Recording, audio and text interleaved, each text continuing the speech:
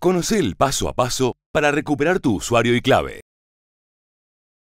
¿Sos operador firmante o administrador y no recordás tu clave o la bloqueaste? Selecciona tu tipo de documento, completa tu número y selecciona tu sexo. Completa con tu nombre de usuario. Ahora, ingresa una nueva clave. Va a ser la misma para app y banca internet. Listo.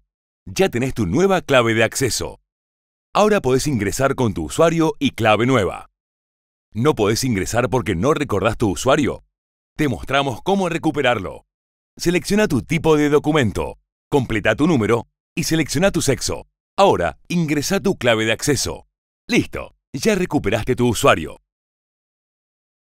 Macro, cerca siempre.